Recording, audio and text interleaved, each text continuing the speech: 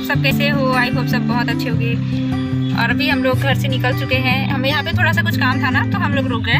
और हस्बैंड गए हैं अपना काम करने। और हम और बाबू मेरा यहीं पर है। वेट कर रहे हैं। तो जैसे ही वो आएँगे, जैसे वो आएँगे, वैसे हम लोग निकल जाएँगे। गए बहुत दूर जाना है। देख सकते हो, मेरा चेहरा पूरा मुरझा गया है। घर से जाने के टाइम पर मैं ऐसे ही हो जाती हूँ थोड़ा।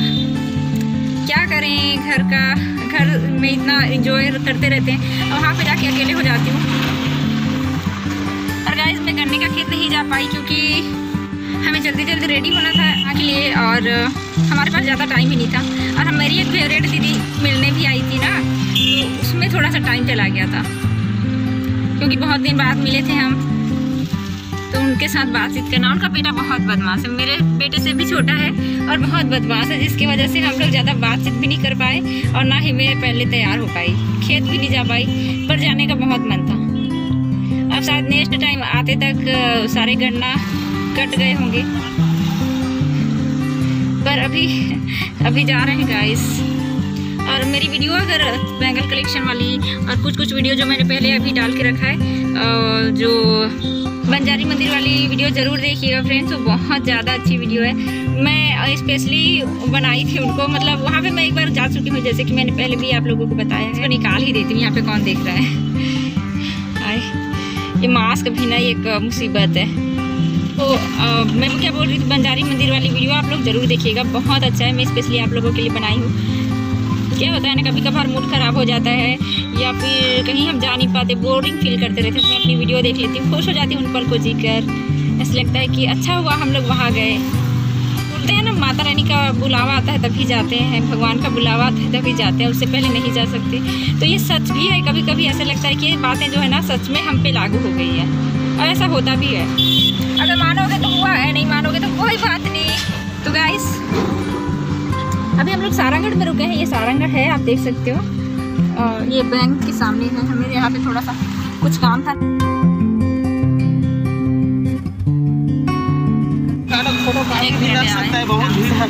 तो गन्ना वन्ना भी खा लिए हैं। बहुत सारी चीज़ें छोटी छोटी खा ली आने का मतलब यह है कि अभी भूख बिल्कुल भी नहीं है और हम लोग अभी सीधे घर जाएँगे, घर पे। अगर भूख लगेगी तो खाना बनाऊँगी। क्योंकि यहाँ से इतने दूर से जाने के बाद ना मुझे ना तो खाना बनाने का मन होता है और ना ही खाने का। सीधे सोने का मन होता है। लेकिन मेरा यहाँ से जाने के बाद काम बढ़ गया होता है। वहाँ पर चूहे ना, सारे सामान इधर उधर कर दिए होंगे। गंदा होगा घर। और उसकी सफ़ाई करने के बाद ही मुझे आराम मिलता है। उसके बाद मैं सो जाऊँ तो नन्हे खेलता रहता है। रहेगा या फिर उसको खाट में बिठा देती हूँ। टीवी ऑन कर देती हूँ।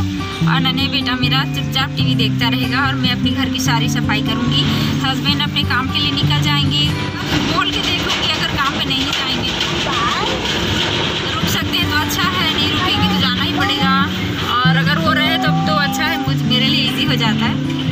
थोड़ी मोड़ी हेल्प कर देते हैं। ज़्यादा हेल्प नहीं लेती हूँ उनसे क्योंकि ये उनका काम है ही नहीं तो मैं उनसे वो सारा काम क्यों कराऊँ? जो मेरा काम है, उसमें ऑनेस्टली कर लेती हूँ। हस्बैंड से हेल्प नहीं लेती हूँ। हेल्प के लिए हमेशा रेडी रहती हूँ। ऐसा नहीं कि ये मेरा काम नहीं है। उनको बार बार बोलती रहती हूँ कि मैं ये कर दूँ क्या? वो कर दूँ क्या? सब पूछती रहती हूँ, पर वो बोलते हैं कि नहीं। वो मेरी हेल्प कभी नहीं लेते हैं। और कभी ले भी लिया, मुझसे गलती होगी ना, चार बातें उल्टा सुना देते हैं। तो ना मौका चाहिए होता है मुझे सुनाने का, डांटने का।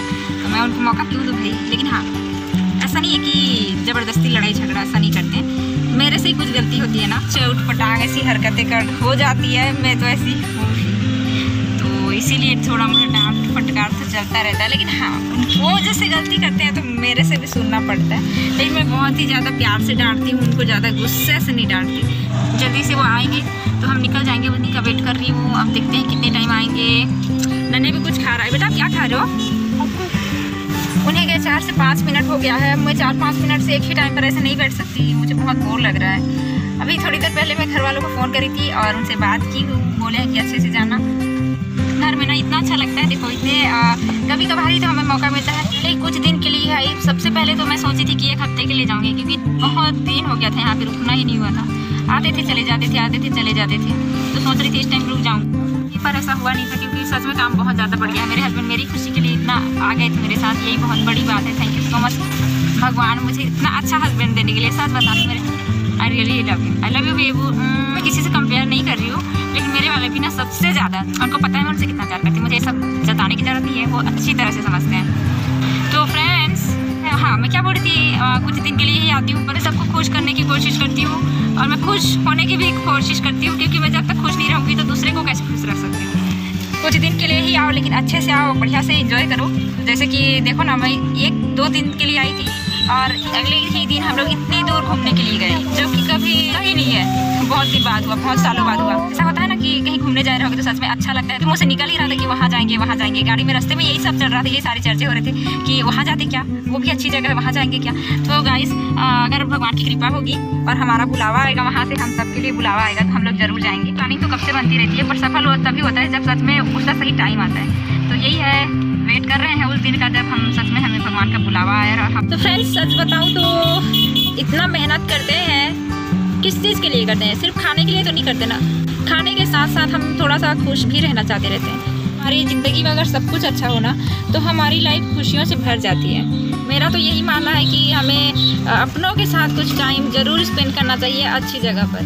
घर अच्छी जगह है, मानते हैं, पर कहीं मंदिर हो गया, कहीं तीर्थ स्थल वगैरह होते हैं ना, जहाँ घूमने के लिए लाखों लोग इतने दूर दूर से आते हैं। तो क्यों ना हम भी जाएँ, वहाँ अपनों के साथ थोड़ा टाइम स्पेंड करें। अच्छा लगता है यार, बहुत अच्छा लगता है।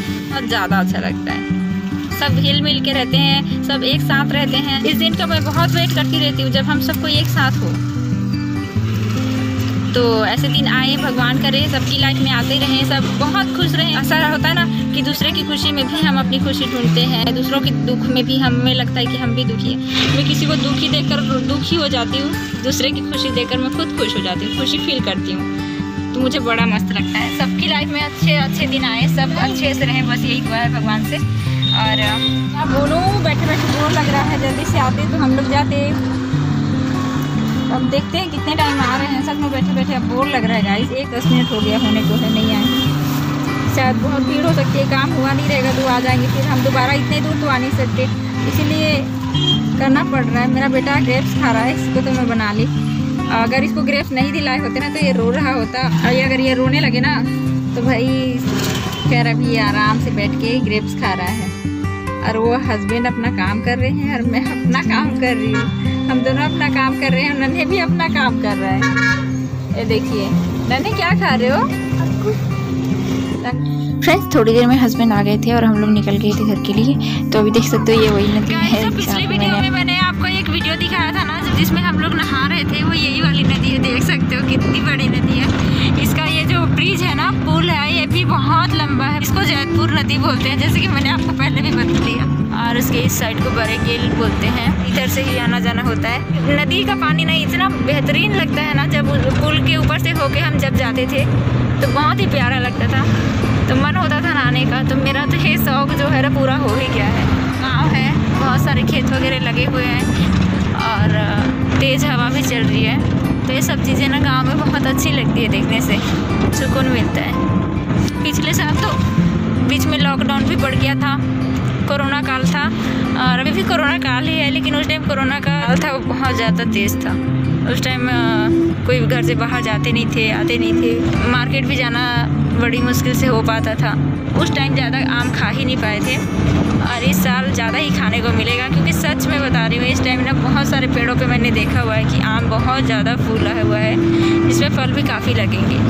तो अभी पतझड़ का मौसम है, फिर भी अभी उतना ज़्यादा आंधी तूफ़ान आया नहीं है और क्या होता है ना, आंधी तूफ़ान आने से जो फूल होते हैं सारे चढ़ जाते हैं, जिसकी वजह से आम फल नहीं पाते। तो ऐसा ना हो इस साल।